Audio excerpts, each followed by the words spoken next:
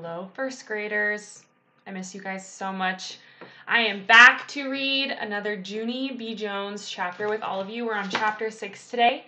Thank you so much, Scholastic, for allowing me to read these copyrighted books. I really appreciate it.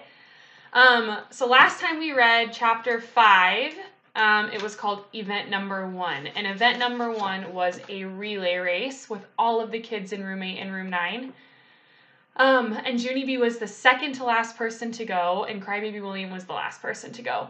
Um, and as Junie B Jones was running, right after she got to the fence and was turned around and coming back, her shoe flew off, and she instead of keep like keeping going and, and continuing to run back to um, the class to Crybaby William, she stopped and she picked her shoe up and she held it around, and then she put it on her foot, and then she ran back to her class um, and by the time that she got back to everybody, the race was over. Room 8 had won. So, chapter 6 um, is called Losing, and we're going to see what happens. Room 9 was not a good sport to me. They kept saying it was my fault we lost the race. I stamped my foot at those people.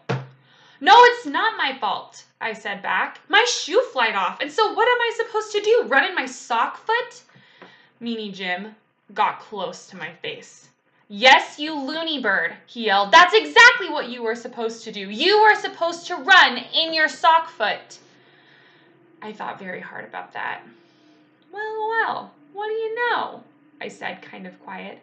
It looks like Captain Field Day has learned a little something here. Room 9 did a groan. I backed away from them real careful. Or else they might tackle me, possibly. I backed all the way to Mrs. They're mad at me, I said. They're mad because I lost the race. Mrs. ruffled my hair. It's not your fault, Junie B, she said. Your shoe came off by accident. And besides, field day is not about who wins or loses. Field day is about having fun. I hang down my head. Yeah, only what's so fun about losing? That's what I would like to know, I said. Just then, Mrs. made announcement. Boys and girls, I don't want to hear one more word about winners and losers, okay? Field day is a day to run around in the fresh air and enjoy the sunshine. We came out here to have fun and get some exercise, and we're not going to care one little bit about who wins or who loses. As soon as Mrs. walked away, New Thelma skipped up next to me. Room 8 is winning, she said real squealy. Room 8 is beating room 9 1 to nothing. I made a mad face at her. Yeah, only didn't you hear my teacher, New Thelma? I said. Room 9 doesn't even care who wins and loses. Room 9 just came out here to run in the air. So ha ha on you. Yeah, said Ricardo. Yeah, said Jamal Hall. Yeah, said Linny. Then all of those people gave me a high five, 'cause I made a good point apparently. Pretty soon, the roommate teacher blew her whistle again. The next event will be the softball throw, she said. Unlike the relay race, this contest is not going to be a team event. The softball throw is for anyone who wants to join in. If you'd like to see how far you can throw the ball, please form a line behind me. Paulie Allen Puffer was the first one in line. I'm a good thrower, he said. I'm probably the best thrower in room nine, in fact. Linny lined up next. I'm a good thrower too, she said. Me too, said Jamal Hall. Just then, Crybaby William pulled on my cape, 'cause he wanted to whisper again, that's why. I'm not good at this event either, he said real quiet. I don't have to do it, right, Captain? I don't have to throw the ball. I put my arm around his shoulder. Look at poor William. So there's Junie B in her cape, and William looks all slumpy and sad. Oh my goodness. I put my arm around his shoulder. No, you don't, I said. You don't have to worry about this at all, William. Paulie Allen Puffer is going to win this thing in a breeze for us. Just then, a boy from room 8 jumped in line. New Thelma did a loud squeal. Oh, Strong Frankie! Strong Frankie is the strongest boy in kindergarten! She said, very thrilled. All of us looked at him.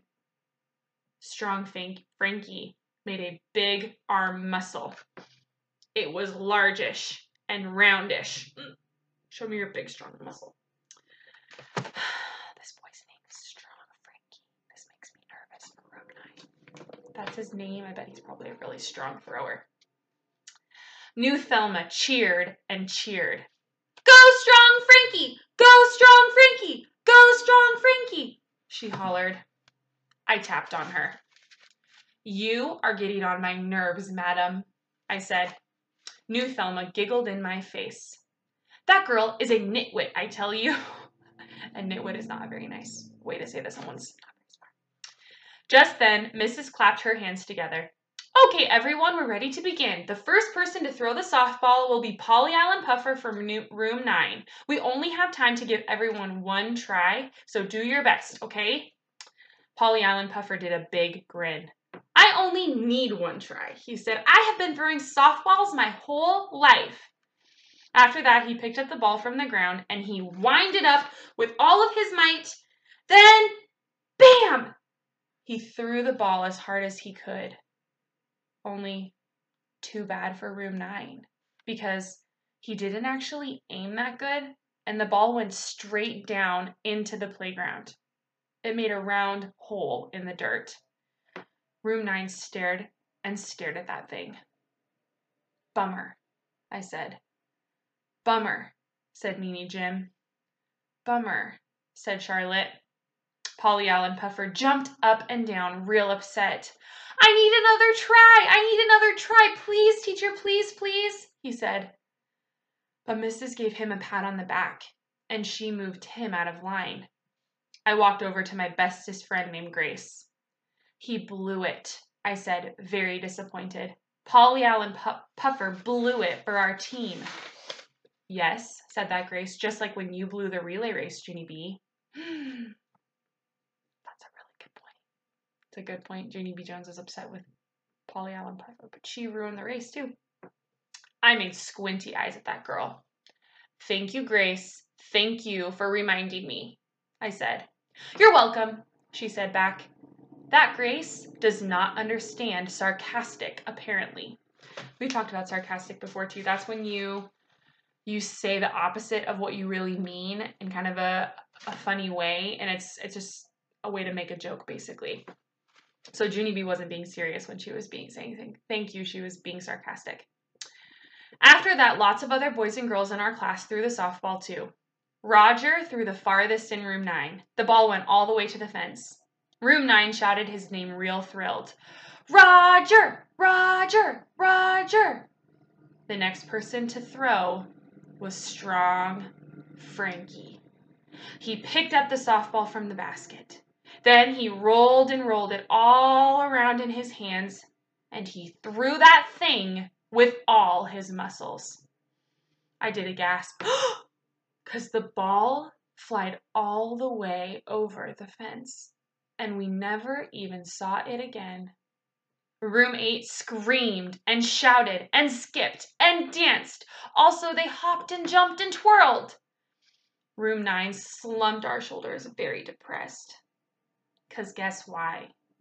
Losing does not feel joyful. And that is the end of chapter 6. Chapter 7 is called Skunked. And that is a term that people use sometimes um, when a team just keeps losing and losing and losing. Poor room nine. Oh my goodness, they are not winning a single race. And Junie B. Jones is feeling defeated. So is Paulie Allen Puffer. I know it can be real, at least for me, when you keep losing and losing, it's really hard to persevere and to keep trying as hard as you can. And it's hard to have a good attitude. So we're going to see how all of these room nine kids feel after losing two events. It's kind of a bummer. Um, all right, that's it. I love you guys. I will send a video tomorrow, and um, I am going to pretty soon here do a live read aloud. I'm thinking this week, very, very soon, um, where all of you guys, if you have a phone or if you have a computer, um, you can join in a live read aloud and we'll see if if that works and if it does we can keep doing it but i will also continue to keep doing Junie B um, with all of you here too. All right i'll see you guys later. Have a good day